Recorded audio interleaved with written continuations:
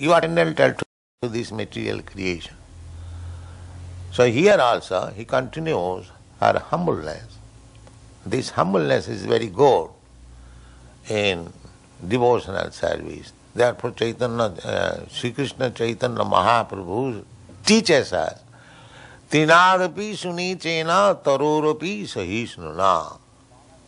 One should be tolerant than the trees and humbler than the grass uh, to make progress in spiritual life. Hmm. Because there will be so many disturbances. Uh, because Maya, we are living uh, just like if we are in the uh, ocean. See, you cannot expect very peaceful situation in the ocean. It must be always tit, what is called tilting. Tilting. Uh, even even your big ship, uh, it is also not very fixed up position. At any moment there may be tumultuous waves. So, in this material world, you should always expect danger. You cannot expect very peaceful life within this material. Padang padang jada vipadang. Shastra says, in every step there is danger. Uh, but if you become a devotee, then you escape. Mayami tang tarantit.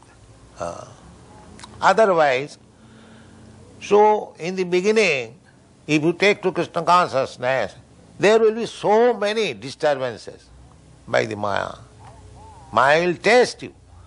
How far you are fixed up. She will test you.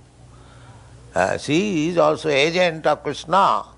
She does not allow anyone who is meant for disturbing Krishna.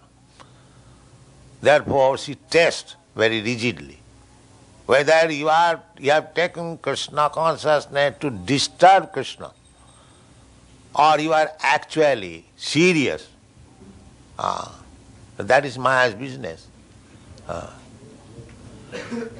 So there will be in the beginning test by the Maya and you will uh, feel so much disturbances in making progress in Krishna consciousness but if you remain steady, uh, steady means if you follow the rules and regulations and chant 16 down, then you will remain steady. Uh, and if you neglect, then Maya will capture you. Uh, immediately. Maya is always ready. We are in the ocean. At any moment, we will be disturbed. Uh, therefore, one who is not disturbed at all, he is called Paramahamsa.